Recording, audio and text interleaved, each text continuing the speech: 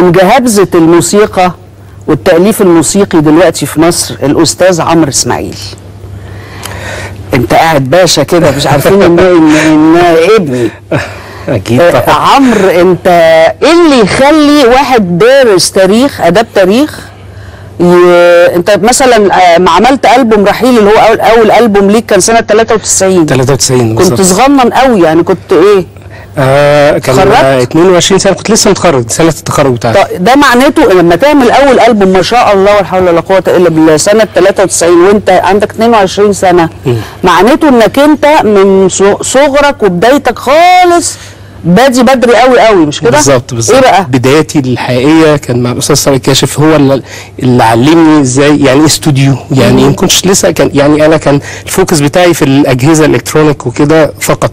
لكن هو اللي دخلني الاستوديو علمني يعني إيه استوديو قال لي أنت لازم تتعلم موسيقى. إيه اللي يخلي شاب عنده 22 سنة يعمل ألبوم مزيكا صرف؟ فكرة وقتها كانت كانت صعبه آه صعب. جديدة ومختلفة. كان ليه تجارب قبليها؟ عملت يعني موسيقات برضه بس كانت توزيعات لأغاني عبد الحليم وفيروز وأم كلثوم. كان كان برضه كان ترند طالع كده لتوزيع ال- الموسيقات. فليه تجارب في ألبومات كده؟ آه بس ما كانش تأليف موسيقى آه. بس أنا كنت طول عمري زي ما أقول لحضرتك أنا حابب ال ال ال الموسيقى كموسيقى بحتة مين instrumental مين اللي عمل لك الألبوم؟ لا أنا. أنا. أنت، ها؟ لا واحدة واحدة بقى ابتديت آه. يعني أعمل مقطوعة وأسجلها مش عارف إيه كده يعني بالمجهود ال ال آه. الذاتي آه وبعدين قابلت آه شخصية تاني في حياتي بقى هو يعني شريك آه، نجاحي في الإنتاج الأستاذ آه، سامح مرقص هو بقى إيه يعني آه، هو أول ما سمع الشغل ده فقال لي لا ننزل بيه وكان في الوقت ده ما كانش فيه يعني كان في الموسيقات في الوقت ده كانت موسيقات برضو كانت التوزيعات كان عاشق الساكس آه، أستاذ سمير أيوة،. كانت كلها حاجات معروفة لكن حد ينزل موسيقى مؤلفات لأول مرة دي كانت صعبة شوية. وكان في مؤلفات طبعا الاستاذ عمر خيرت الأستاذ عمر الشاي بس كانت مؤلفات خاصة بالدراما. آه شهرتها يعني عمر عمل آه، آه، آه، قضية آه، ليله القبض على ليله فاطمه القبض على فاطمة وعمار عمل الهجان. آه عرفت الهجان. وحاجة تقول و- دموع في عيون واحد طبعا. آه. وكان في آه، يعني في الفترة دي كان في يعني طبعا الأستاذ عمار رحمة الله عليه وأستاذ عمر خيرت كان بقالهم يمكن 10 سنين قبلي بيعملوا موسيقات وكان وليهم ألبومات في ال... بس كان حد يعمل مؤلفات موسيقية في الوقت ده كانت صعب شوية. ف... ف... آه، قد كان بقى يعني صديقي بقى آه، سامح هو ال- اللي اقتنع بده ونزلنا الألبوم. ونجاح الألبوم كان بره مصر أكتر. إزاي أكتر؟ مع إنه أنا فاكرة إنه نجح في مصر وكان شيء ملفت للنظر جدا. آه في الفترة دي كان آه كان في عندنا آه كنا لسه ما عندناش مصانع لل CDs. آه آه كان السي دي بيتعمل في اليونان.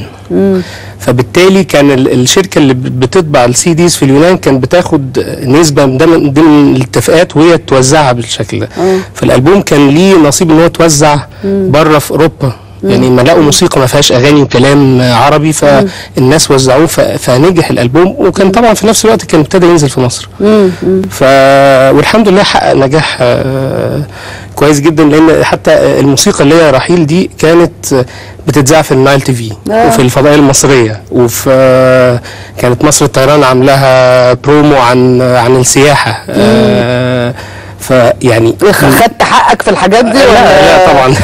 حلاوه بس فيعني دي كانت مؤشرات نجاح يعني بالنسبة لي كنت أروح في أي مكان أو أفتح التلفزيون فألاقي ال- ال- الموسيقى شغالة كده فدي كانت دي كانت مؤشر نجاح الحمد لله يعني. طيب قبل ما أخش على الكارير بتاعك في الأفلام عايزاك تسمعني أنا عايز بس أقول لكم إنه النهارده عمرو بيدينا يعني حاجة خاصة جدا إنه لأول مرة آه، مع الأوركستر بتاعه اللي دايما كان بيصاحبه في موسيقاه الكتير آه، هيلعبوا مزيكا live آه، ولأول مرة من 12 سنة هيلعب live فده برضو بالنسبة لنا كما يعني اعتادت صاحبة السعادة إنها تاخد من أصحابها آه سبق من هذا النوع يعني. هت هتسمعني رحيل لأنه آه الناس آه علاقتها بالمزيكا برضو ابتدت تزداد ارتباطا وابتدى وعي ال- السمع يكون مختلف أيوة. فالنهاردة هنسمع المزيكا اللي عملها شاب عنده 22 سنة تأليف موسيقي بحت ألبوم بروفيشنال محترف من آه، عمرو إسماعيل